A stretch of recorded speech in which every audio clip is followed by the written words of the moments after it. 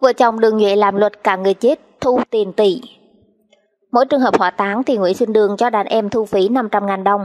Nếu các văn phòng làm dịch vụ mai táng không hợp tác, nhóm này sẽ hành hung, đe dọa và không cho tồn tại. Vụ việc vợ chồng đại gia Nguyễn Xuân Đường hay còn gọi là Đường Nhụy và Nguyễn Thị Dương cùng với đàn em nấp bóng dưới danh nghĩa công ty bất động sản, thực ra thì hoạt động như băng đảng xã hội đen, đang được cơ quan cảnh sát điều tra công an tỉnh Thái Bình khởi tố và mở rộng điều tra. Trước đó, những hành vi coi thường pháp luật của nhóm đối tượng này ngang nhiên tồn tại trong một thời gian dài, khiến cho người dân Thái Bình bức xúc. Thu phí 500.000 đồng trên một ca mai táng. Ông Trần Ngọc Giao là chủ tịch hội đồng quản trị công ty cổ phần dịch vụ tang lễ Hoàng Long, chuyên về dịch vụ hỏa táng tại tỉnh Nam Định. Do tại Thái Bình chưa có dịch vụ này, ông đã liên kết với công ty Thành Phát mở văn phòng tại Thái Bình. Mức phí áp dụng đối với mỗi trường hợp hỏa táng là 4,3 triệu đồng. Cuối năm 2017, anh Nguyễn Thế Việt phụ trách văn phòng tại Thái Bình được một nhân viên của công ty Đường Dương yêu cầu đến họp với Nguyễn Xuân Đường. Không riêng gì anh Việt, đại diện của 23 văn phòng khác cũng đã về đây. Tại cuộc họp này thì Đường yêu cầu tất cả các văn phòng phải ký vào một biên bản liên doanh. Theo đó thì mỗi cả mai táng phải nộp về cho công ty Đường Dương 500.000 đồng. Tất cả chúng tôi đều không đồng tình bởi vì các đài hóa thanh đã có hợp đồng ký kết với các văn phòng làm dịch vụ, không liên quan gì đến công ty Đường Dương. Tuy nhiên, ai có biểu hiện không hợp tác thì có ngay đàn em của Đường dằn mặt tại chỗ. Dưới sức ép đó, tất cả chúng tôi đều phải chấp hành vì nếu không thì sẽ không được phép hoạt động, anh Việt kể. Để dằn mặt đầu năm 2018, Đường đã cho tay chân chặn hết tất cả những xe tang lễ và không cho chở người đi hỏa táng tại Nam Định, bắt phải đưa sang hỏa táng tại Hải Phòng.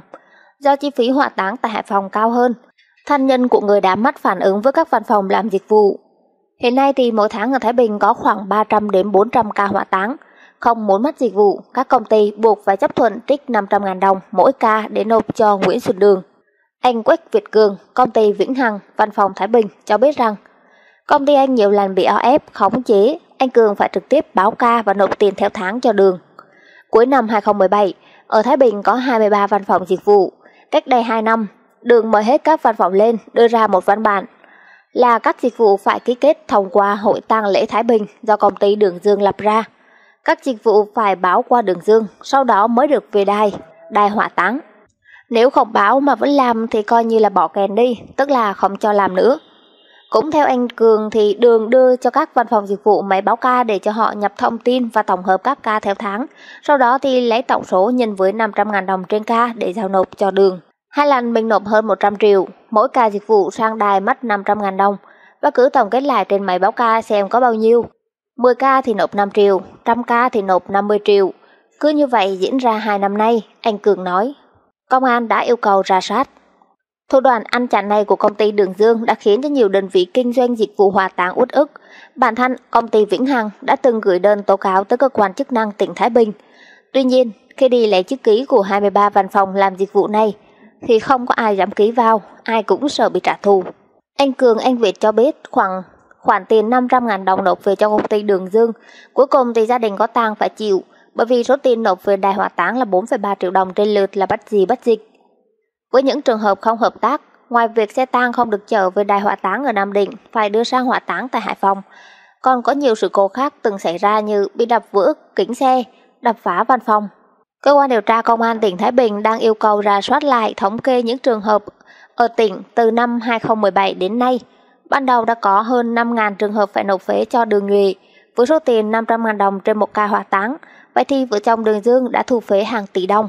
Chiều qua thì anh Quách Việt Cương và anh Nguyễn Thế Việt đã được cảnh sát điều tra công an tỉnh mời đến trụ sở công an tỉnh để xác minh thông tin liên quan đến hành vi làm luật đối với dịch vụ hỏa táng của vợ chồng Đường Nhuệ.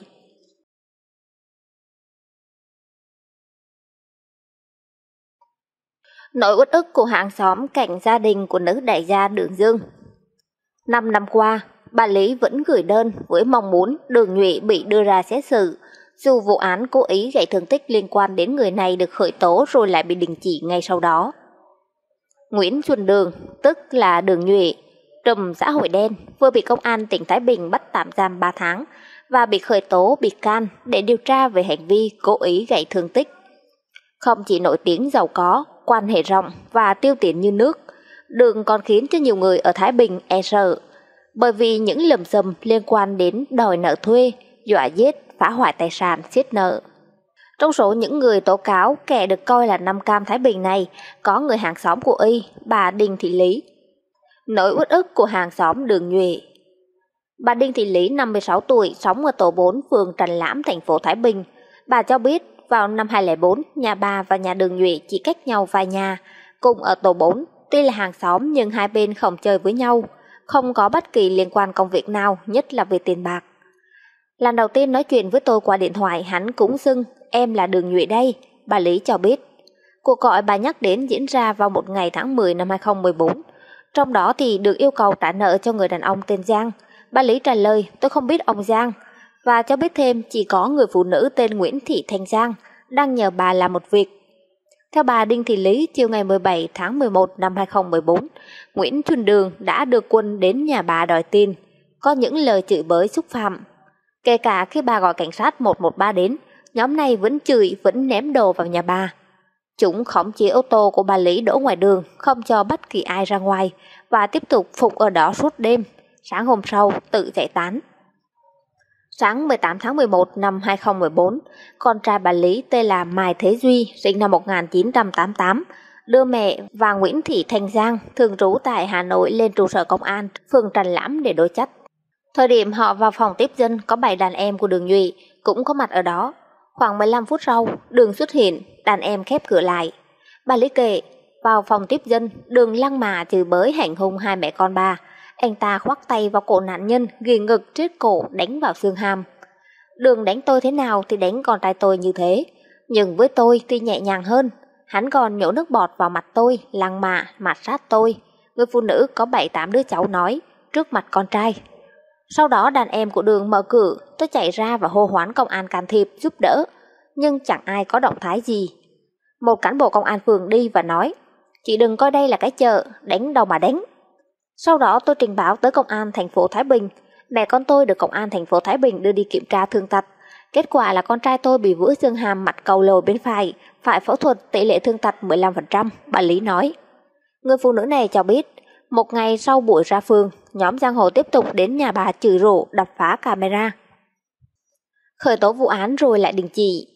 Bà Đinh Thị Lý cho biết, sau khi vụ việc xảy ra, bà được trưởng công an phường Trần Lãm và đội trưởng đội điều tra tổng hợp công an thành phố Thái Bình, khi đó đề nghị hòa giải với Đường Nhụy, nhưng tôi không đồng ý.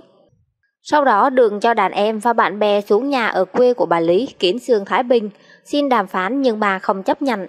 Hơn một tháng rưỡi sau, vào ngày 5 tháng 1 năm 2015, Công an thành phố Thái Bình ra quyết định khởi tố vụ án hình sự cố ý gây thương tích. Đúng 6 tháng sau đó, ngày 5 tháng 7 2015, Công an thành phố Thái Bình lại ra quyết định tạm đình chỉ vụ án trên với lý do chưa xác định được bị can trong vụ án và hết hạn điều tra. Văn bản do thiếu tá Cao Giang Nam, Phó thủ trưởng cơ quan cảnh sát điều tra Công an thành phố Thái Bình ký. Hơn 5 năm trôi qua, bà Lý gửi đơn kiến nghị kêu cứu đến rất nhiều cơ quan chức năng từ địa phương đến trung ương để bảo vệ quyền lợi cho mẹ con mình. Tôi đề nghị cơ quan cảnh sát điều tra công an thành phố Thái Bình khôi phục vụ án hình sự, cho tôi đối chất với Nguyễn Xuân Đường, nhưng mỗi lần đề nghị là một lần đường cho đàn em đến đe dọa. Bà Lý nói khẳng định sẽ không bỏ cuộc. Trả lời VTC News về vụ việc, Trung tá Cao Giang Nam, Phó trưởng Công an thành phố Thái Bình, chỉ nói ngắn gọn rằng Trước đây, cơ quan cảnh sát điều tra công an thành phố Thái Bình khởi tố vụ án Tuy nhiên sau đó do chưa đủ cơ sở nên tạm đình chỉ, khi nào có đủ cơ sở sẽ tiếp tục xử lý. Ngày 11 tháng 4, thông tin với phóng viên, một lãnh đạo công an tỉnh Thái Bình cho biết, ông đang chỉ đạo các phòng nghiệp vụ ra soát lại các vụ việc trước đây, củng cố hồ sơ để điều tra làm rõ hành vi vi phạm pháp luật của vợ chồng Đường Dương. Chúng tôi sẽ quyết tâm làm chứ không nề nà bất kỳ việc gì đâu, vị lãnh đạo công an tỉnh Thái Bình khẳng định. Như dân Việt đã đưa tin, cơ quan chức năng đã ra lệnh bắt tạm giam 2 tháng về tội cố ý gây thương tích đối với bà Nguyễn Thị Dương, nữ đại gia bất động sản nổi tiếng tại Thái Bình. Sau khi một ngày trốn truy nã toàn quốc thì Nguyễn Xuân Đường, chồng của nữ đại gia cũng đã bị bắt tại Hà Nam. Không chỉ tại Thái Bình mà ở những tỉnh lân cận, vợ chồng bà Dương được biết là những doanh nhân giàu có đại gia bất động sản, thường xuyên tham dự các cuộc đấu giá đất, đấu giá thầu tài sản trên địa bàn, kinh doanh tài chính, tín dụng. Nguyễn Thị Dương nổi tiếng về thành tích vùng tiền khủng chơi sang. Vợ chồng họ sẵn sàng tổ chức những cuộc chơi ẩm ý. Năm 2015, chúc mừng sinh nhật tuổi 35 của vợ. Người chồng đã không tiếc tay chi tiền tỷ tổ chức sinh nhật cho vợ. Bên cạnh đó còn mời hàng loạt những ngôi sao tên tuổi trong làng giải trí Việt đến tham dự biểu diễn cho bữa vui. Không chỉ vậy, tiếng tăm của vợ chồng này còn nổi như cồn trên mạng xã hội. Họ thường xuyên chia sẻ những hình ảnh vui chơi ra hoa. Ngoài ra còn có những hình ảnh chụp cùng với những ngôi sao giải trí có tên tuổi. Chưa dừng lại, trên Facebook cá nhân cặp vợ chồng Dương Đường còn chia sẻ hình ảnh gặp gỡ giao lưu với một số lãnh đạo. Mỗi bài viết của họ đăng lên đều nhận được sự khen ngợi hết lời từ anh em, bạn bè, dân làm ăn.